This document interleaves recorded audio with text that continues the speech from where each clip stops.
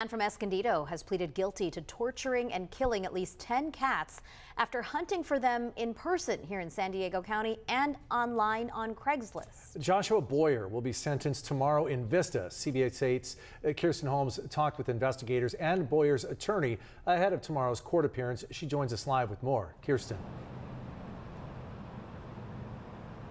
Yeah, justice for Leonard and the multiple cats that were violently killed in 2019.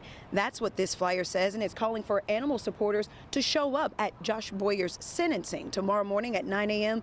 in a Vista courtroom. I want you to take a listen to how Leonard the cat's disappearance led authorities to Boyer.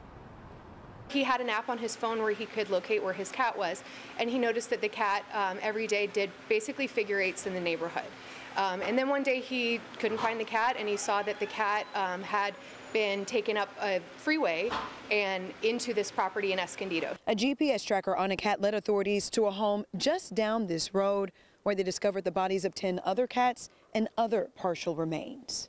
What they found was um, in plain view several deceased animals um, in very suspicious circumstances. So they immediately called humane law enforcement. Dogs, goats, chickens, pigeons, all kinds of things that we discovered uh, through Craigslist warrants of the individual trying to obtain animals that were being given away. Lieutenant Regina Price with San Diego Humane Society says Joshua Boyer is facing 10 counts of animal cruelty and one count of possession of metal knuckles for crimes dating back to May of 2019. There's another charge of animal cruelty dating back to April of 2021. It appears that this person uh, just enjoyed to take life from animals. Investigators say Boyer went to extreme measures just to hurt these animals. Tortured, they all had empty stomachs, and eight of them had been um, killed with the use of a deadly weapon. A lot of weapons. We did have um, baseball bats, machetes, other such items that had what appeared to be blood and fur on them. Lieutenant Price says their investigation found that Boyer used lies to adopt free animals off Craigslist,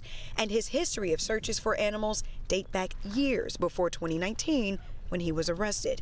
Lieutenant Price says there is a strong tie between hurting animals and later hurting people. Animal cruelty is, is very important. Um, because it's not just the victim in the crime, it's the violence of the crime. And if somebody's able to do that to a defenseless animal, um, who knows what else they are capable of.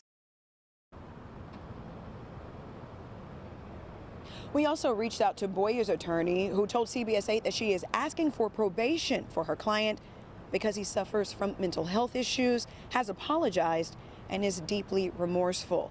Boyer's sentencing, again, is scheduled for 9 a.m. in a Vista courtroom. We will be there and we'll have more on this developing story for you.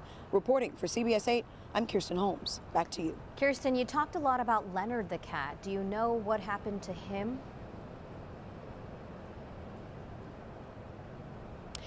Unfortunately, um, investigators found Leonard the cat's collar in a neighbor's backyard. It was smashed up, and investigators believe that Leonard the cat met the same fate as the other animals tied to that property in Escondido. Marcella? All right, we'll see what uh, the turnout is at tomorrow's sentencing. Thanks so much, Kirsten.